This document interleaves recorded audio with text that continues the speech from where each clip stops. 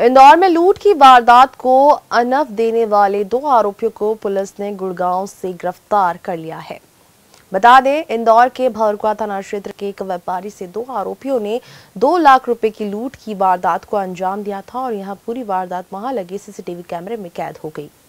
घटना को अंजाम देते आरोपी सीसीटीवी में नज़र आ रहे हैं। इस पूरे ही मामले की जानकारी जब पुलिस को लगी तो पुलिस ने दोनों आरोपियों को गिरफ़्तार कर लूट की वारदात को अंजाम देकर लूटे हुए दो लाख रुपए भी जब्त कर लिए।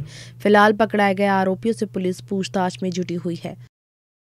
भवरकुआ क्षेत्र में रात में एक मोटरसाइकिल से दो अज्ञात सवारों ने फरियादी के साथ में लूट की थी, जिसका नाम ओम प्रकाश गर्ग था। इन बदमाशों ने उनके सिर पे कोई चीज़ से मारा था और उनका दो लाख रुपया लूट लिया था। इस पर भवरकुआ में एफआईआर दर्ज की गई थी। अज्ञात बदमाशों की तलाश की गई, जो सस्पेक्टेड मोटरसाइकिल थी, उसका कई सारे सीसीटीवी फुटेज में उसको ट्रेस करने की कोशिश की और काफ़ी परमिटेशन कॉम्बिनेशंस के साथ में एक नंबर को वर्कआउट किया गया और उस नंबर में वो नंबर सही निकला। उस नंबर से जो इसमें घटना में दो बदमाश थे, उसमें से एक के पिता के नाम पे वो नंबर दर्ज था और उसके बाद फिर उसमें और कार्य करते हुए मुख्य आरोपी विशाल सोनी तक पुलिस टीम पहुँची और उसको जब अभिरक्षा में लेके पूछताछ की गई तो उसके द्वारा घटना करना स्वीकार किया गया और उसके सहयोगी का नाम जितेश कसेरा बताया। जितेश कसेरा